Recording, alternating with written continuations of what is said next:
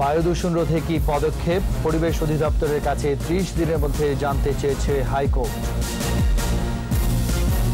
শুধু করোনা নয়, মাস্কে সুফল মিলছে শ্বাসকষ্টজনিত রোগেরও। চর্চা ধরে রাখার পরামর্শ বিশেষজ্ঞদের। প্রধানমন্ত্রীর কার্যালয়ের বিশেষ আশ্রয়ন সহ ছয়টি উন্নয়ন প্রকল্প একনেকে অনুমোদন। নতুন মন্ত্রিসভা সদস্যদের নাম ঘোষণা করছেন বাইডেন। যথাযথ প্রক্রিয়ায় ক্ষমতা হস্তান্তরে সম্মত Trump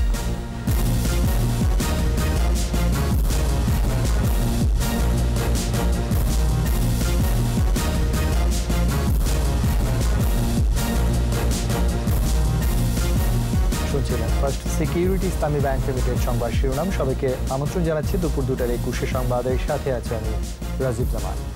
আর দর্শক একুশে টেলিভিশনের সংবাদ একই সাথে সরাসরি দেখতে পাবেন আমাদের Facebook page W W W dot Facebook dot com slash Ekushey twenty four অনলাইনে এছাড়াও সংবাদে আরও থাকছে। চলে গেলেন সিনিয়র সাংবাদিক, দৈনিক সংবাদের ভারপ্রাপ্ত সম্পাদক খন্দকার মনিরুজ্জামান।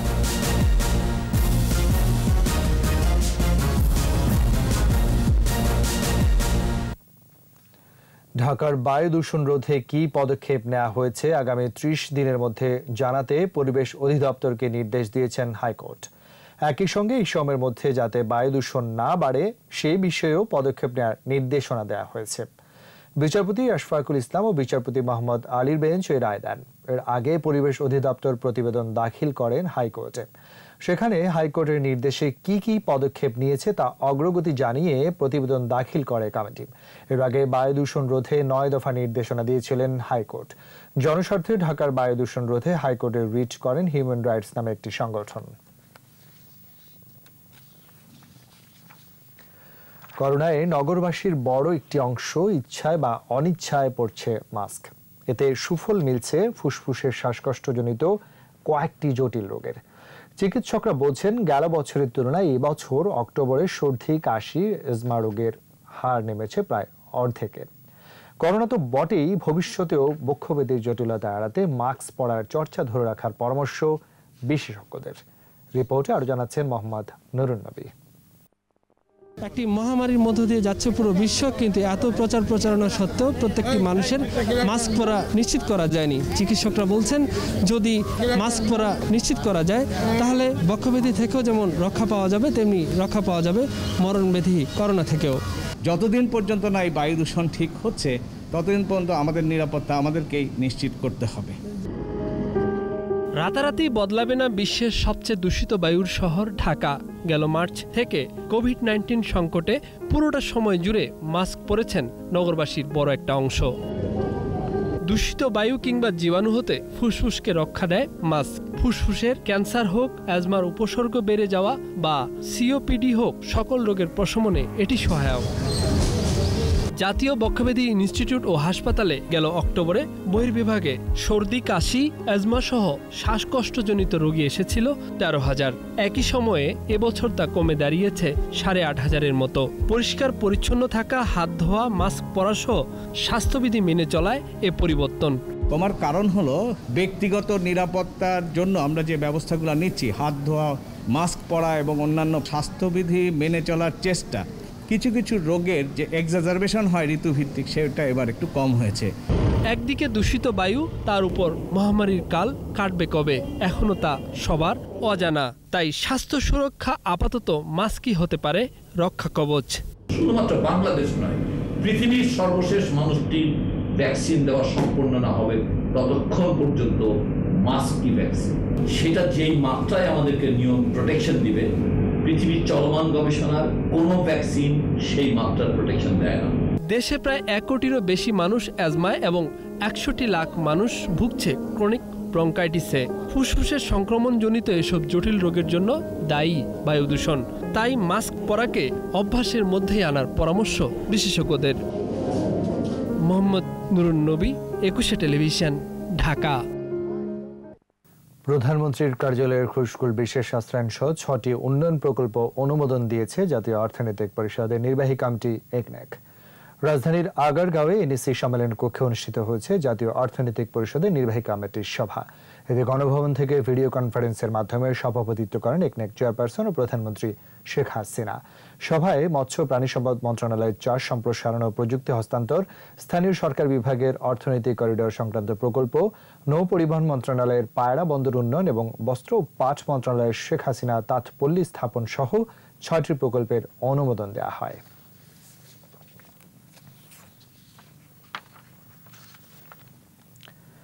দেশে মানসিক রোগীদের চিকিৎসা প্রশ্নবিদ্ধ।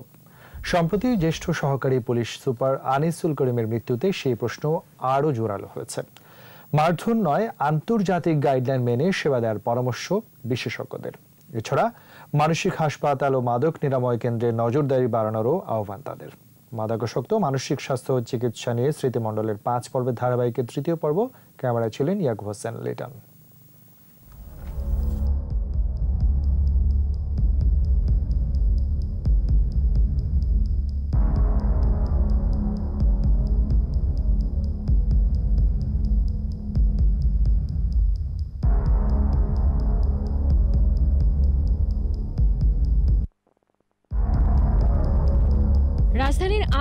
মাইন্ডেড হাসপাতালের সিসি ক্যামেরায় ধারণ করা ফুটেজ। পুলিশ কর্মকর্তা আনিসুল করিমকে টেনে হিচড়ে এই কক্ষে ঢুকিয়ে এভাবেই মারধর করে হাসপাতাল কর্মীরা। চিকিৎসা নিতে এসে নির্মম হত্যার শিকার হতে হল একত্রিশতম বিসিএস এ পুলিশ কর্মকর্তা হিসেবে নিয়োগ পাওয়া আনিসুল করিমকে। স্বাস্থ্য অধিদপ্তরের অনুমোদন নেই। মাদকাসক্তি নিরাময় কেন্দ্রের লাইসেন্স নিয়ে মানসিক স্বাস্থ্যের চিকিৎসা দিচ্ছিল মাইন্ডেড। আনিসুল করিম হত্যার পর প্রতিষ্ঠানটি বন্ধ করে দেয়া হয়। এ ঘটনাটি চোখে আঙ্গুল দিয়ে দেখিয়ে দিল দেশের মানসিক চিকিৎসার চিত্র। যেহেতু আমাদের কাছে তারা লাইসেন্সই নেয়নি।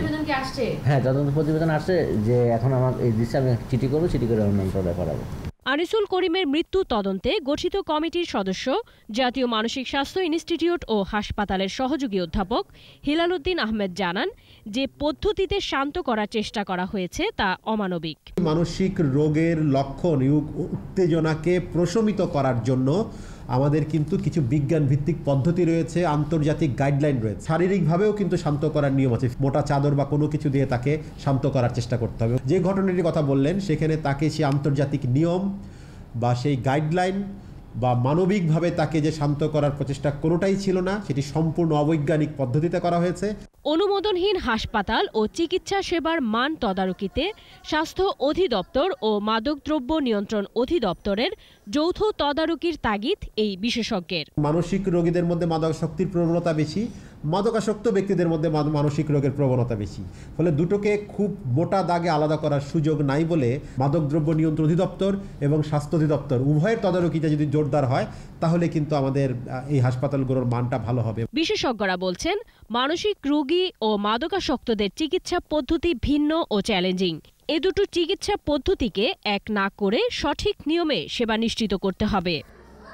স্মৃতিমণ্ডল, একুশে টেলিভিশন, ঢাকা। বিরতি নিচ্ছি। স্বাস্থ্যবিধি মেনে চলুন, সুস্থ থাকুন। যখন ফিরছি, তখন অন্যান্য খবরের সঙ্গে আরও থাকবে।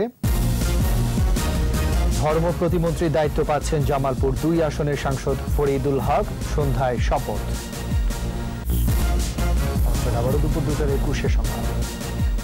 ধর্ম প্রতিমন্ত্রী হিসেবে দায়িত্ব নিয়ে শপথ গ্রহণ করতে যাচ্ছেন জামালপুর দুই আসনের সাংসদ ফরিদুল হক খান দুলাল।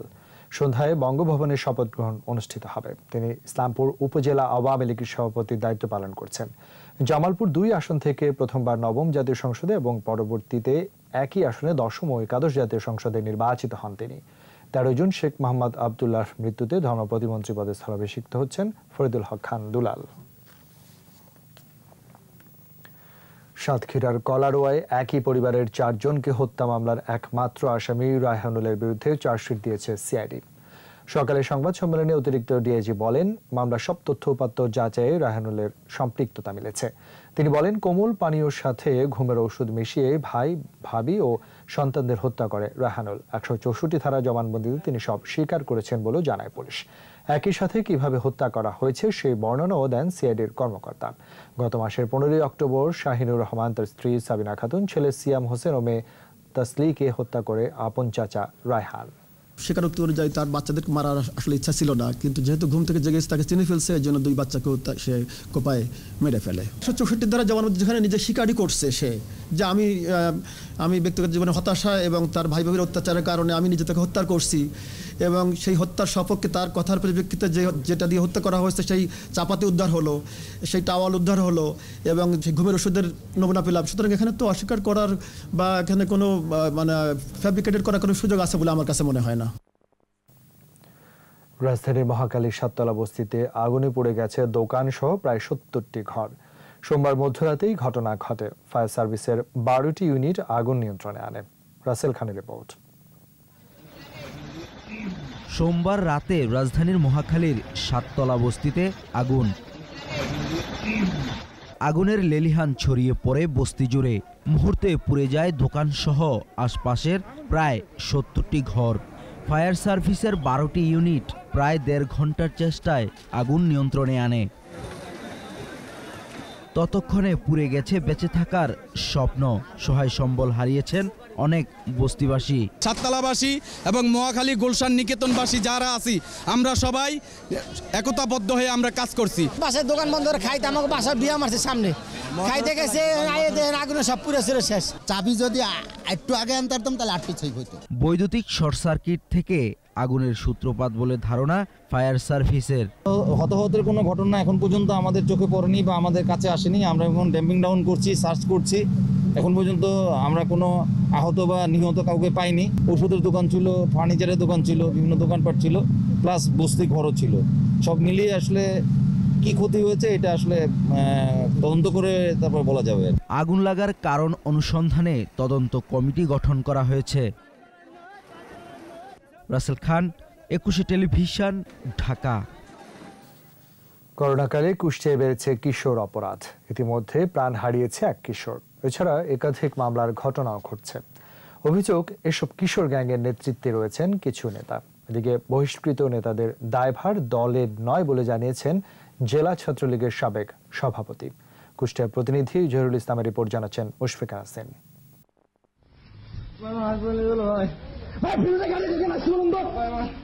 গত তেসরা জুলাই কুষ্টিয়ার কুঠিপাড়ায় ফুটবল খেলা নিয়ে কথা কাটাকাটির জেরে তরিকুল ইসলাম নামে একজনকে কুপিয়ে হত্যা করে কিশোর গ্যাংয়ের সদস্যরা। এই ঘটনায় ছয় জনের বিরুদ্ধে মামলা হলেও একজনকে অভিযুক্ত করে আদালতে চার্জশিট দিয়েছে পুলিশ। গেল বেড়াতে ওই বাদ্রাদিক চাল ঘুরে আসি বেটা ঘুরতে যায় আর বেটা ধরে মাই ফেলেছে। মামলা করা হয়েছিল কিছুই হয়নি এই পর্যন্ত কোনো কাজও হয়নি। অন্যদিকে গত বারোই নভেম্বর কুষ্টিয়া আদালত চত্বরে হৃদয় নামে এক কিশোরকে ছুরিকাঘাত করা হয়।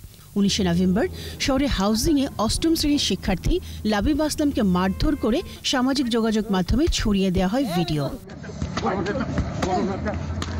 স্থানীয়দের অভিযোগ, এসব কিশোর গ্যাংয়ের পেছনে নেতৃত্ব দিচ্ছেন কিছু রাজনৈতিক নেতা। এদিকে অভিযুক্ত কয়েকজনকে এরই মধ্যে বহিষ্কার করা হয়েছে বলে জানান জেলা ছাত্রলীগের সাবেক সভাপতি। যারা ছাত্রলীগের ভিতরে যারা এইসব করছে, আমি যখন আমি আমি আর স্যার যখন দায়িত্বে ছিলাম আমি যারা কিশোর গ্যাংয়ের ভিতর ছিল, তাদেরকে আমরা বহিষ্কার করে দিচ্ছি বহিষ্কার হওয়ার পরে যদি তারা এসব করে দায়ভার তো আমরা নিতে পারব না আমরা। অবশ্যই এর পেছে বড় কারোর হাত আছে। যার কারণে এই জিনিসটা সেই সময় উদ্র হয় নাই রাজনৈতিকভাবে হয়ে গেছে আর কি। আপনার সন্তান আপনার সন্তান কোথায় কি করছে এই বিষয়টা তো আপনি নজরে রাখবেন। কারণ সম্পূর্ণ দায়ভার অভিভাবকের উপরে। কিশোর অপরাধীদের দৌরাত্মের কথা স্বীকার করে পুলিশ ও আইন বিশেষজ্ঞরা বলছেন শুধু আইন প্রয়োগ করে নয় নৈতিক শিক্ষা ও পারিবারিক মূল্যবোধের মাধ্যমে এসব কিশোরকে সঠিক পথে ফেরাতে হবে। পাশাপাশি বন্ধ করতে হবে রাজনৈতিক মদত। এই কিশোররা রাজনৈতিক ছত্রছায়ায় লালিত হয়। এই জিনিসটা সম্পূর্ণ আসলে বন্ধ করতে হবে। কিশোর শিশুদের কিছু হচ্ছে না তাহলে কিন্তু এদের সাহসটা আরও বেড়ে যাবে। আমরা যারা অভিভাবক আছি আমাদেরকে প্রথম স্টেপ নিতে হবে দ্বিতীয় প্রশাসনকে নিতে হবে। তা নাহলে কিন্তু আমাদের রাষ্ট্রযন্ত্র সম্পূর্ণ রকমে ভেঙে যাবে। জেলা গোয়েন্দা পুলিশ সূত্রের খবর কুষ্টিয়া শহরে এগারোটির মতো কিশোর গ্যাং রয়েছে যাদের বয়স বারো থেকে সতেরো বছরের মধ্যে। মুশফিকা নাজনীন একুশে টেলিভিশন। চলে গেলেন সিনিয়র সাংবাদিক মুক্ত চিন্তার প্রতীক খন্দকার মনিরুজ্জামান। দৈনিক সংবাদের ভারপ্রাপ্ত সম্পাদক ছিলেন তিনি। করোনায় আক্রান্ত হয়ে রাজধানীর একটি হাসপাতালে চিকিৎসাধীন ছিলেন খন্দকার মনিরুজ্জামান। তার মৃত্যুতে শোক জানিয়েছেন রাষ্ট্রপতি আব্দুল হামিদ ও প্রধানমন্ত্রী শেখ হাসিনা। শোকাহত সাংবাদিক সমাজ। মুশফিকা নাজদিনের আরেকটি রিপোর্ট। কার্যকর করবে যেই শক্তিগুলো। সাংবাদিকদের সবার কাছে তিনি ছিলেন প্রিয় মনির ভাই। বাইরেও আসলে আপনি যে দৈনিক সংবাদের ভারপ্রাপ্ত সম্পাদক ছিলেন তিনি। কলামিস্ট রাজনৈতিক বিশ্লেষক খন্দকার মনিরুজ্জামান সাপ্তাহিক একতার মাধ্যমে সাংবাদিকতা শুরু করেন। সেই থেকে আর থামেনি তার কলম। স্বৈরশাসন সামরিক শাসন। এর আগে তিনি ছাত্র ও শ্রমিক আন্দোলনের সঙ্গে যুক্ত ছিলেন। সেই মৌলবাদ সেই ধারার বা সেই চেতনার বিরুদ্ধে লড়াই করে বাংলাদেশ প্রতিষ্ঠা হয়। হঠাৎ জ্বরে আক্রান্ত হন। এরপর করোনা পজিটিভ হওয়ায় শান্তিনগরে নিজ বাসায় ছিলেন মনিরুজ্জামান। শারীরিক অবস্থার অবনতি হলে একত্রিশে অক্টোবর তাকে মুগদা হাসপাতালে ভর্তি করা হয়। আজ সকালে সবাইকে শোকের সাগরে ভাসিয়ে চলে যান না ফেরার দেশে। ব্রাহ্মণবাড়িয়ায় জন্ম নেয়া এই কৃতি সন্তানের প্রতি বিনম্র শ্রদ্ধা। মুশফিকা নাজনীন একুশে টেলিভিশন। আর এরই সাথে শেষ করছি দুপুর দুটার একুশে সংবাদ। জবাডকের first security Islami bank limited সংবাদ শিরোনামগুলো জানাচ্ছি আরও একবার। বায়ু দূষণ রোধে কি পদক্ষেপ? পরিবেশ অধিদপ্তরের কাছে ত্রিশ দিনের মধ্যে জানতে চেয়েছে হাইকোর্ট। শুধু করোনা নয়, মাস্কে সুফল মিলছে শ্বাসকষ্টজনিত রোগেরও চর্চা ধরে রাখার পরামর্শ বিশেষজ্ঞদের। প্রধানমন্ত্রীর কার্যালয়ের বিশেষ আশ্রয়ন সহ ছয়টি উন্নয়ন প্রকল্প এক নেকে অনুমোদন। নতুন মন্ত্রিসভার সদস্যদের নাম ঘোষণা করছেন বাইডেন। যথাযথ প্রক্রিয়ায় ক্ষমতা হস্তান্তরের সম্মত ট্রাম্প।